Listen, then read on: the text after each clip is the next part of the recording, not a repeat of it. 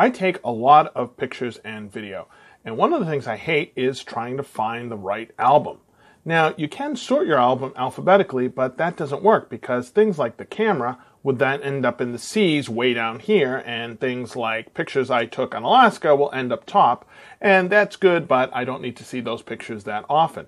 So I prefer this customized view, but even in this customized view, it's very difficult sometimes for me to figure out which folder it is. I know I can read and take a look at it, but it just takes a while to go back and forth and it drives me nuts. There's got to be a way to assign a specific image to each album, and I'm going to show you how to do that right now.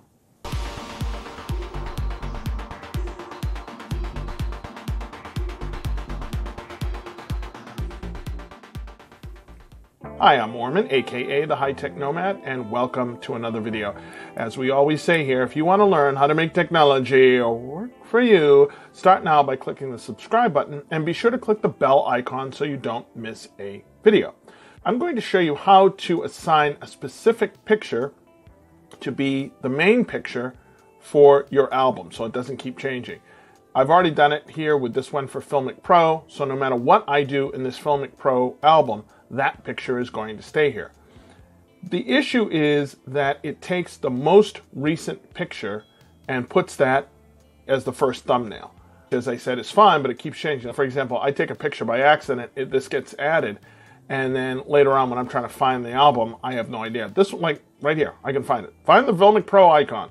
Boom, you're all set. Now find the uh, video captions. Uh, ah, here it is though. We're gonna we're gonna change that right now. How does it do it? Each image has not only the location information, but it has a lot of other information in it, including the date the picture was taken, the last time it was modified, the location. There's a lot of stuff in there. Be careful.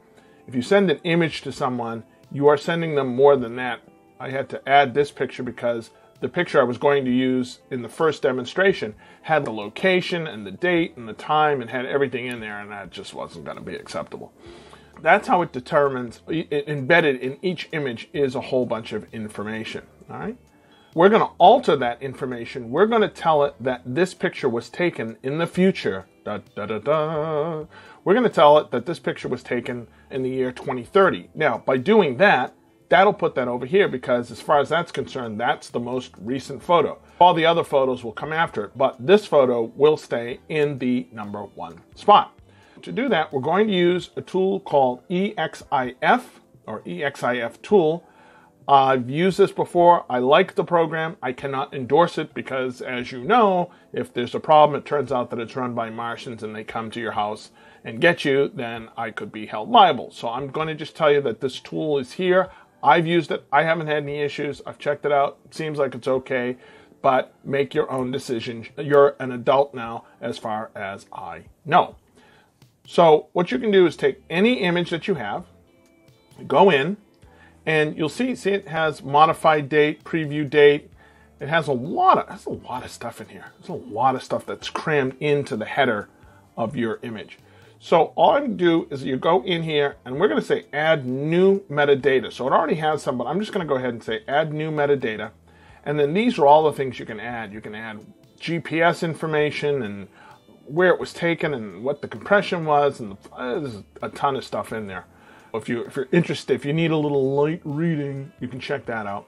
I'm going to come in here. I'm going to just type in date.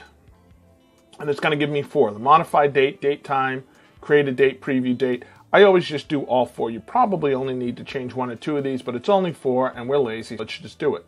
I've typed in date. We got four. Let's just go one, two, three, four. We're going to add three pieces of information.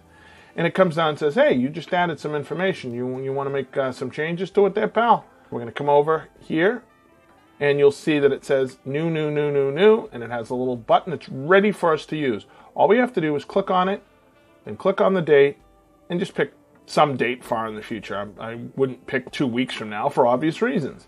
I'm going to just pick 2030 because I'm going to assume that I'm not going to still have this phone in 2030, and by then we will have figured out something else, so that's not a problem. And I'm going to go here.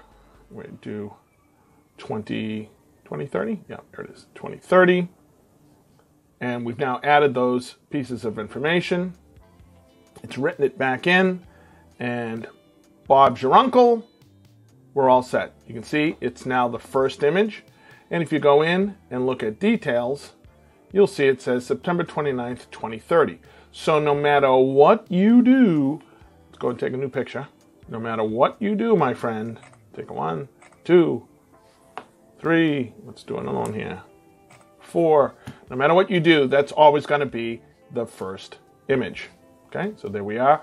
All the others will come after that, but that image will stay there. If you found this helpful, please hit the like button and please hit the subscribe button. We're trying to get to 10,000. There's so much more that we can do once we get to 10,000. So help us out.